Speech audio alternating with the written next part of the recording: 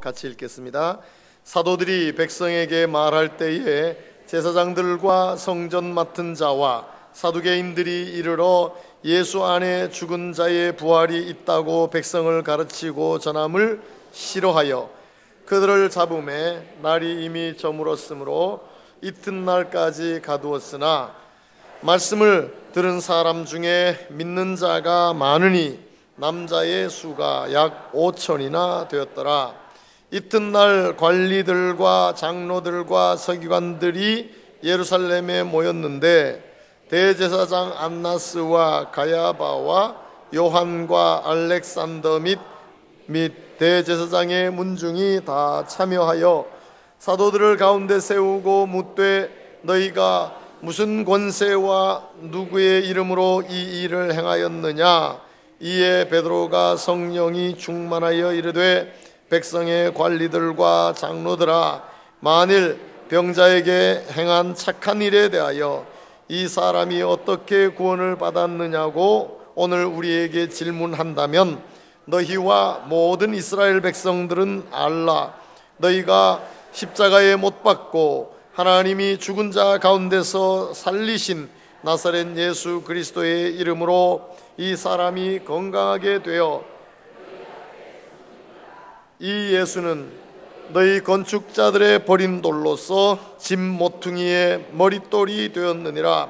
다른 이로서는 구원을 받을 수 없나니 천하 사람 중에 구원을 받을 만한 다른 이름을 우리에게 주신 일이 없음이라 하였더라. 아멘. 이 말씀으로 모퉁이 돌이신 예수님이라는 제목으로 어, 같이 말씀을 나누겠습니다. 어, 사도행전은 사도들의 전도하는 선교하는 행전이지만 어, 성령께서 역사하시는 성령의 행전이라 말씀을 드렸죠.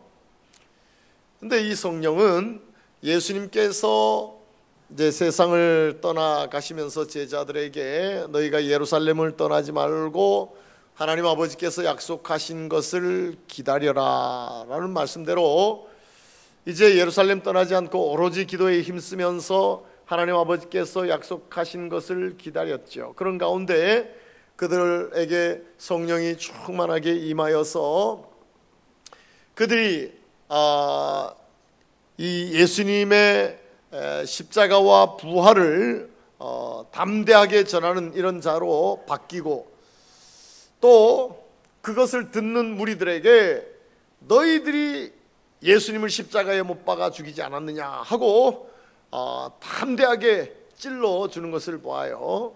그랬더니 듣는 자들이 마음에 찔렸죠. 마음에 찔려서 우리가 메시아를 십자가에 죽였구나. 어찌할꼬 하고 괴로워할 때 회개하고 예수를 믿으라 해서 이제 예수를 믿으면서 이런 자들이 예수님을 십자가에 못 박아 죽였지만 그러나 회개하고 다시 예수의 사람 구원의 백성이 되고 나니까 얼마나 기쁨이 있습니까?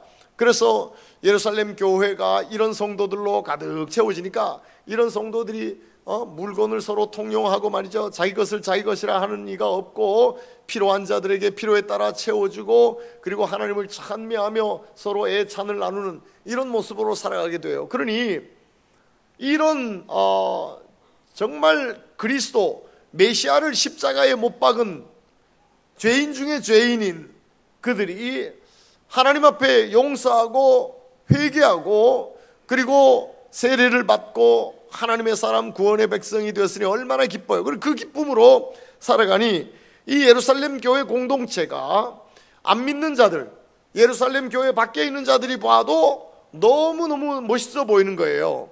이건 뭐 완전히 천국이에요, 거의. 그러니까 그들이 아, 예루살렘 교회 성도들을 어, 참 그들에게 박수를 보내고 칭송하고 이러고 살아가요. 그것뿐만이 아니라 베드로와 요한이 성전에 올라가다가 성전 미문에서 날 때부터 걷지 못하던 이런 이제 한 약 40세쯤 된 사람이 구걸하며 어, 있을 때에 은금이 베드로와 요한에게는 없었지만 베드로와 요한이 붙들고 있는 나사렛 예수 그리스도의 이름으로 일어나 걸으라고 하면서 그 사람의 오른손을 잡아 일으키니 40년 동안 한 번도 걷지 못했던 자가 일어나서 걷기도 하고 뛰기도 하며 베드로와 요한과 함께 성전으로 들어가 하나님을 찬미하는 모습을 보죠. 그때 사람들이 얼마나 놀랍니까? 아니, 아니 이 사람들은 걷지도 못하는 사, 이 사람인데 아니 여기 앉아 성전 미문에 앉아서 구걸하던 자 아니냐? 라고 하면서 사람들이 대단히 의아했어요. 이거 도대체 어떻게 된 일이냐? 하고 솔로몬 행각에 사람들이 모여서 어, 이 자초지정을 듣기를 원했지요. 그때 베드로가 그들 앞에서 어, 참 이야기를 하면서 이 사람이 낳은 것은 나사렛 예수 그리스도의 이름으로 낳은 것이다. 왜 우리를 주목해 보느냐? 우리는 아무것도 아니다. 라고 하면서 나사렛 예수 그리스도에게로 그 초점을 옮겨주죠. 그러면서 그런 예수를 너희들이 십자가에 못 박아 죽이지 않았느냐? 그러나 하나님께서는 너희들이 죽인 예수를 3일 만에 다시 살려내셨다 말이지. 그래서 부활되셨다. 이런 이야기를 솔로몬 행각에서 그들에게 막 전했을 때 이걸 듣기 싫어하는 자가 있었던 것을 봐요. 예수님의 십자가와 부활을 듣고 그리고 회개하고 예수를 믿고 세를 받은 자들이 교회를 세우며 이제 교회의 구성원이 되며 교회는 점점 점점 부흥해 되어가고 확산이 되어 가는데 동시에 이걸 싫어하는 자들도 점점점 세력을 구합하게 되, 규합하게 되고 그리고 어, 구체적으로 이런 어, 예수님을 믿는 자들을 어, 방해하고 대적하고 박해하기 시작했어요. 오늘 본문 말씀은 바로 구체적으로 예수의 십자가와 부활을 전하는 자들을 싫어하면서 그들을 대적하고 그들을 박해하는 이런 자들이 모이게 되고 그 세력을 규합하게 되고 구체적으로 어, 참 대적하는 이런 모습을 어, 오늘 본 말씀 통해서 볼 수가 있어요.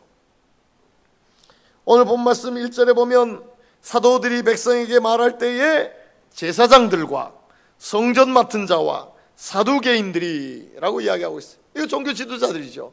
제사장들과 성전 맡은 자들과 사두개인들. 이거 다 어, 당시의 종교 지도자들이에요. 특히 사두개인들, 예수의 부활이 없다고 하는 이 사두개인들.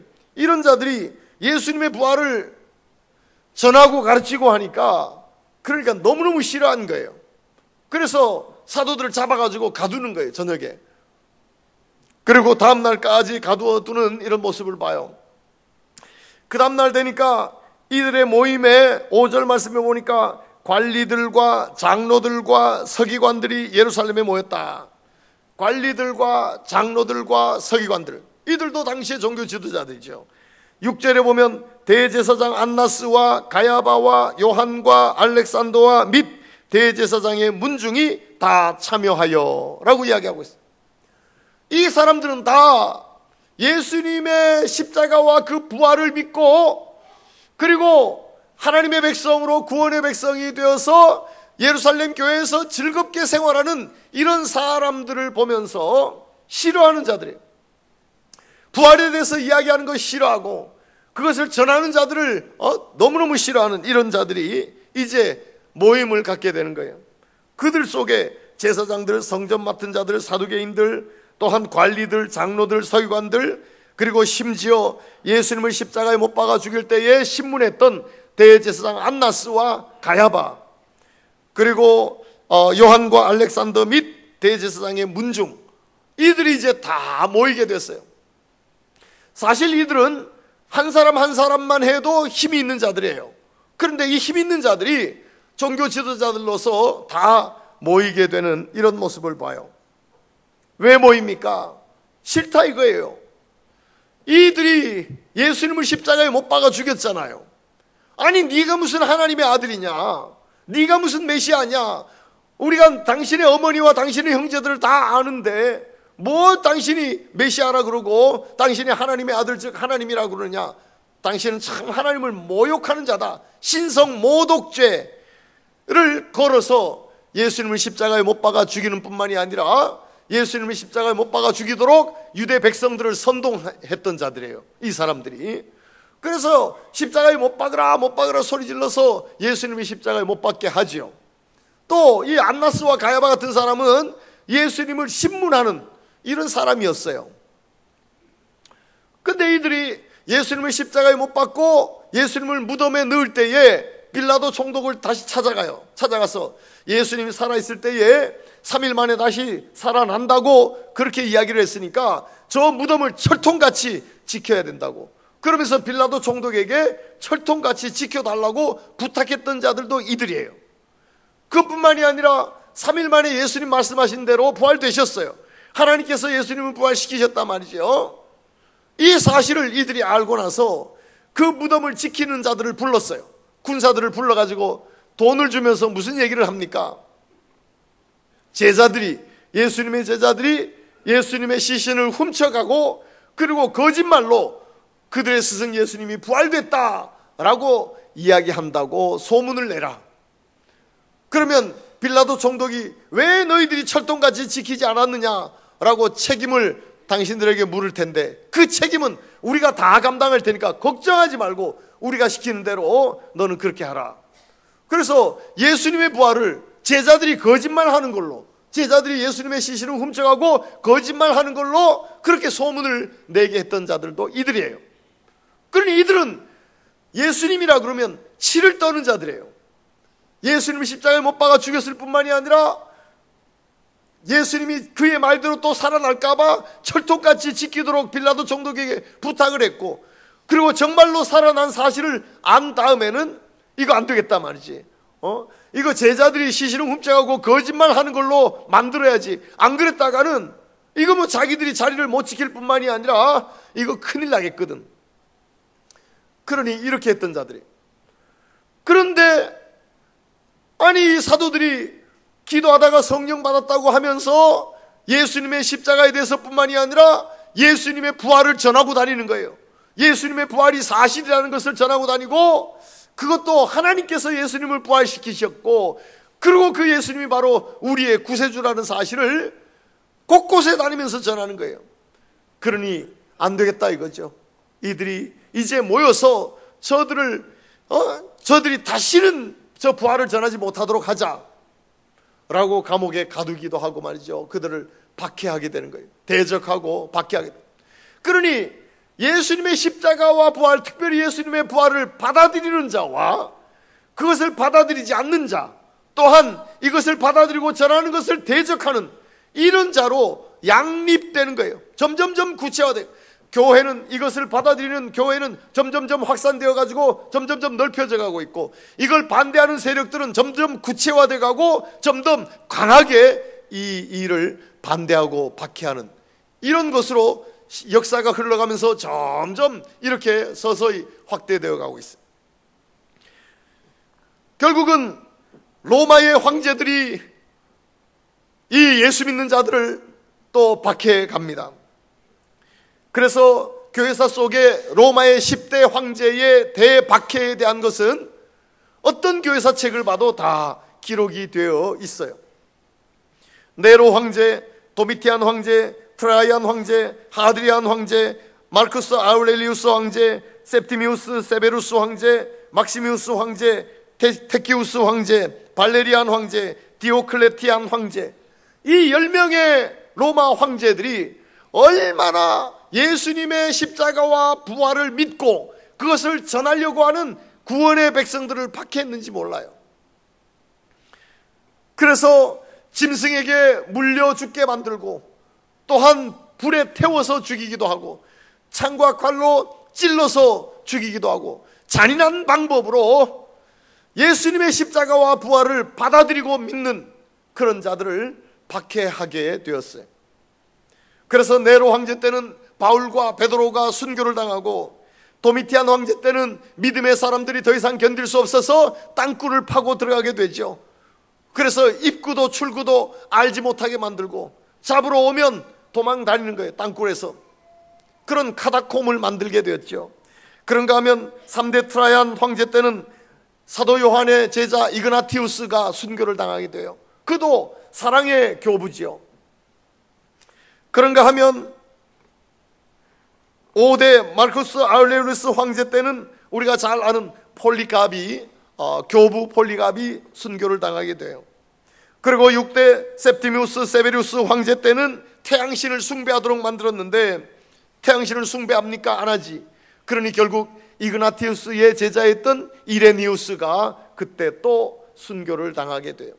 이렇게 사도들이 순교를 당하게 되고 사도들의 제자였던 교부들이 순교를 당하게 돼요. 그리고 많은 믿음의 사람들이 순교를 당하게 됩니다. 짐승에 물려 죽어 순교를 당하게 불에 태워 순교를 당하게 되고 또 칼에 창에 맞아서 순교를 당하게 돼요. 이렇게 예수님의 십자가와 부활 그 사실을 믿음으로 받아들이고 그리고 구원의 백성으로 서는 자들은 점점 점점 늘어가는데 그 와중에 이것을 반대하고 핍박하고 박해하는 자들이 또 역시 점점점 늘어가게 되었던 것입니다.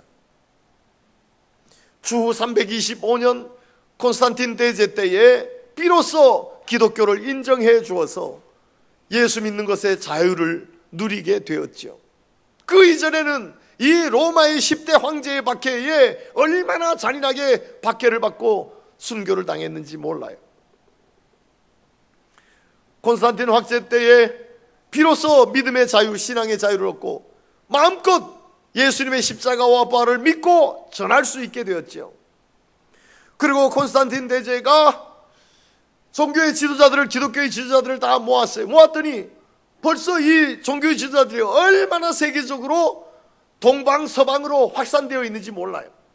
이미 예루살렘과 온 유대와 사마리아와 땅끝이라고 이야기하는 땅 끝까지 복음을 복음이 전달되는 이런 역사에 대단히 많은 어, 확산이 되어 있는 것을 보게 돼요. 그러나 웬일입니까? 외적인 박해가 사라지고 나니까 이제 내적으로 서서히 골마가기 시작하고 부패되어 썩어가기 시작해요. 외적인 압력이 사라지고 나니까 내적으로 골마가고 부패해가고 썩어가는 이런 모습이 기독교를 덮게 돼요. 그래서 중세 천년 동안 기독교는 외부의 이 박해나 이런 것은 줄어들었지만 그러나 내적으로 골마 썩어가는 이런 모습은 얼마나 팽배해졌는지 몰라요. 이런 걸 그냥 두었으면 교회는 썩어버리고 교회의 본질을 찾아볼 수도 없었을 거예요. 그러나 금년이 종교개혁 500주년을 맞이했다고 하는데 그 종교개혁에 선두했던 종교개혁자들이 마르틴 루터 같은 자들이 종교를 개혁하면서 그 골문 것을 터뜨렸어요. 또한 썩은 것을 도려내기 시작했어요. 말씀의 칼로, 말씀의 검으로 골문 것을 터뜨리고 썩은 것을 도려내는 이 아픈 작업을 하게 되었어요. 그래서 겨, 겨우 말씀의 검으로 인하여서 교회는 본질을 서서히 찾아가게 된 것입니다. 이런 가운데 오늘 우리 한국의 교회도 세워지게 되었고 우리 교회도 세워지게 된 것입니다. 예수님의 십자가와 부활 이것이 중심이 되어서 받아들이고 믿는 자들과 그것을 거절하고 대적하는 박해하는 자들로 세계는 나눠지게 되고 그런 나눠짐의 역사가 오늘까지 쭉 흘러오게 되는 것입니다. 이런 박해 속에 교회는 소멸될 것 같아요. 또한 예수님의 십자가와 부활은 땅 속에 지워질 것 같았습니다. 그러나 그렇지 않았어요. 오늘 읽은 본 말씀 4절에 보면 말씀을 들은 사람 중에 믿는 자가 많으니 남자의 수가 약 5천이나 되었더라 라고 말씀하고 있어요. 사도들은 감옥에 갇히게 되고 많은 사람들이 박해를 받게 되지만 그러나 교회는 소멸되지 않았어요. 또한 예수님의 십자가와 부활은 지워지지 않았어요. 교회는 점점 예루살렘과 온 유대와 사마리아와 땅 끝까지 이르러 내 증인이 되리라는 말씀처럼 교회는 점점 확산되어 가고 부흥되어 갔어요. 그리고 예수님의 십자가와 부활은 지워지는 것이 아니라 예수님의 십자가와 부활은 점점 선명하게 드러나게 된 것입니다. 하나님의 교회에 대한 역사예요. 결국 오늘 9절 10절에 있는 말씀처럼 만일 병자에게 행한 착한 일에 대하여 이 사람이 어떻게 구원을 받았느냐고 오늘 우리에게 질문한다면 너희와 모든 이스라엘 백성들은 알라 너희가 십자가에 못 박고 하나님이 죽은 자 가운데서 살리신 나사렛 예수 그리스도의 이름으로 이 사람이 건강하게 되어 너희 앞에 섰느니라. 이런 예수님의 십자가와 부활을 싫어하고 그것을 믿고 전하는 자들을 대적하고 박해하는 자들이 예수님의 십자가와 부활을 내려놓고 나니까 그들에게는 무슨 권세, 누구의 이름, 이것이 중요해진 겁니다. 그래서 사도들에게 너희들이 도대체 무슨 권세로 이런 일을 했느냐?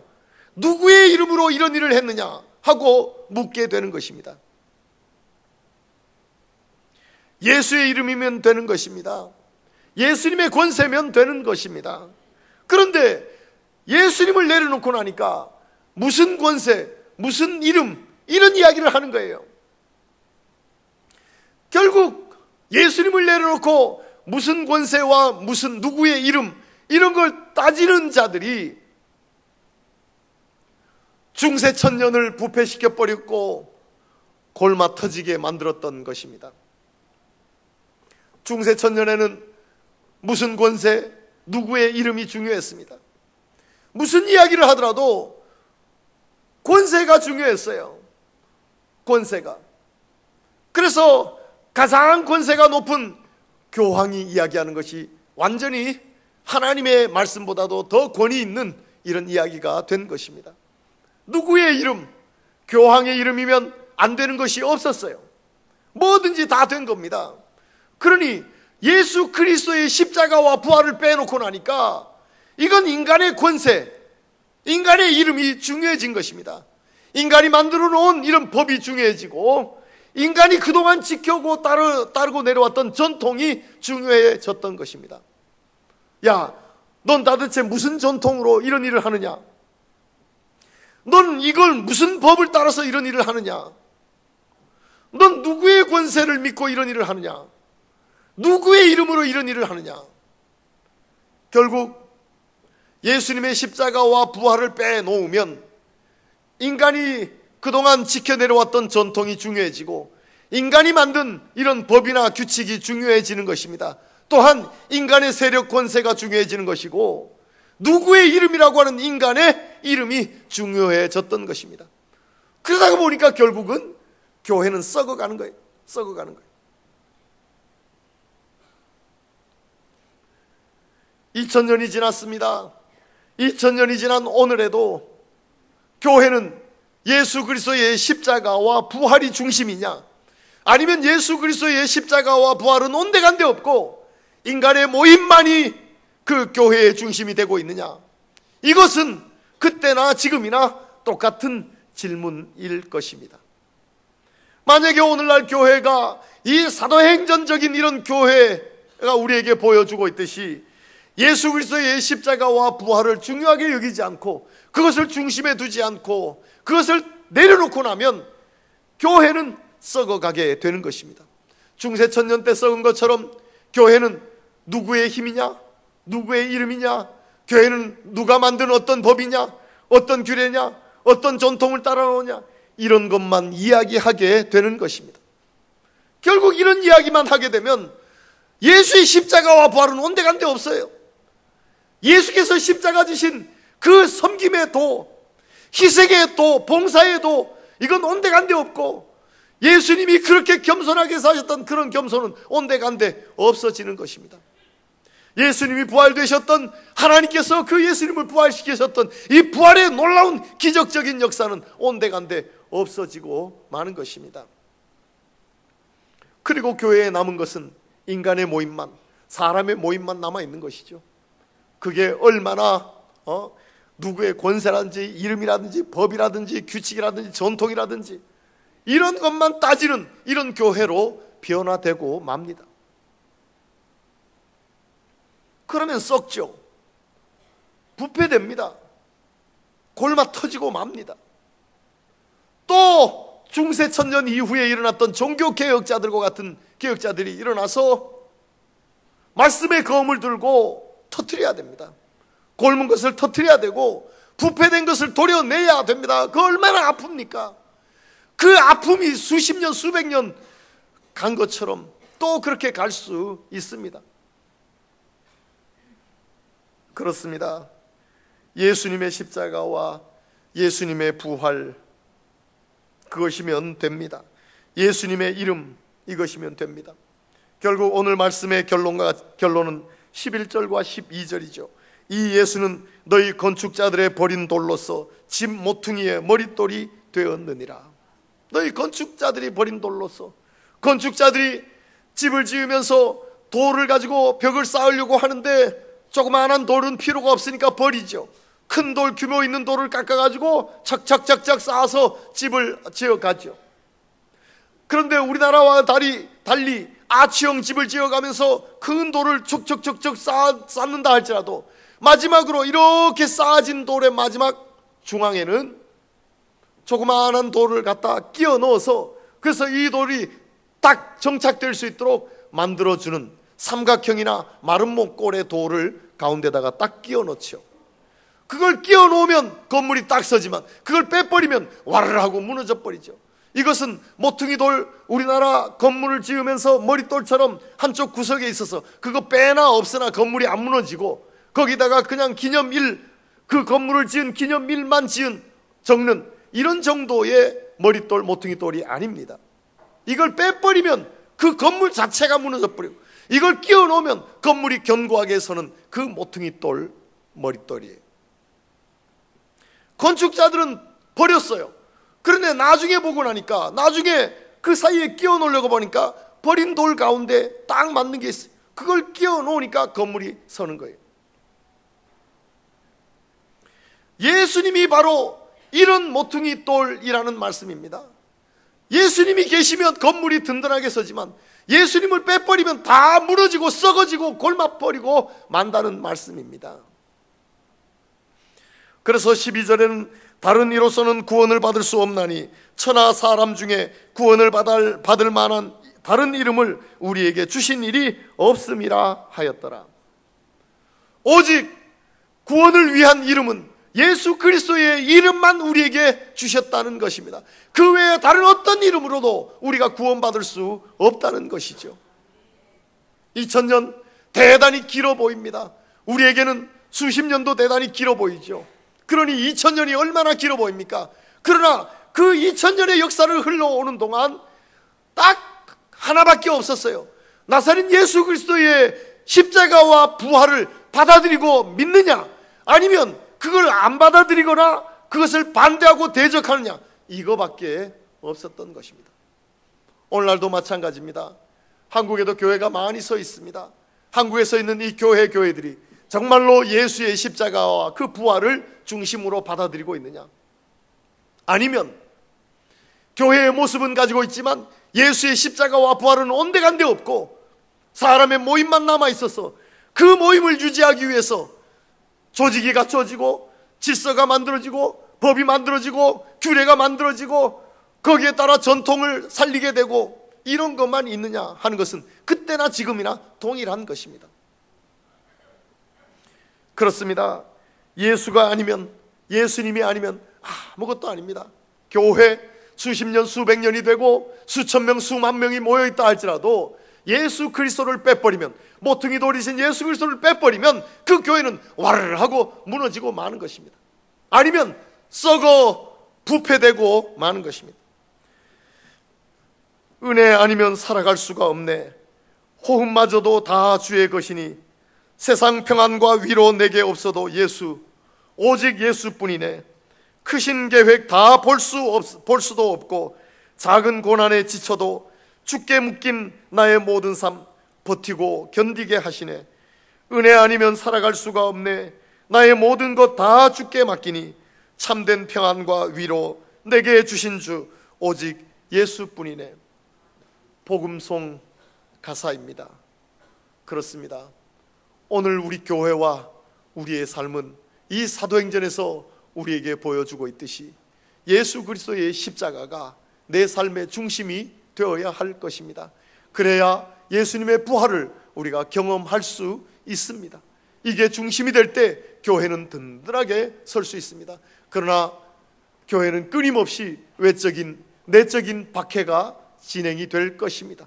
그것을 잘 감당하면서 예수의 십자가와 부활을 모퉁이 돌로 중심 삼고 건강하게 건전하게 강건하게 살아갈 수 있는 우리 모두 되기를 주의 이름으로 축원합니다. 하나님 아버지 주의 은혜와 사랑을 참으로 감사합니다. 교회는 외형적인 모습이 아니라 내적으로 예수 그리스도의 십자가와 부활을 믿는 이런 믿음으로 하나님 아버지 서 있어야 할 텐데 주여 우리 교회도 이 한국 교회도 주님 붙잡아 주시옵소서. 그러나 끊임없이 외적인 박해와 내적인 이 부패의 요소들이 하나님 우리를 방해할 텐데 잘 감당하면서 예수 그리스도의 십자가와 부활을 중심으로 하여서 마지막까지 하나님 든든히 서 있는 건물 되게 하여 주시옵소서. 예수님의 이름으로 기도드리옵나이다. 아멘.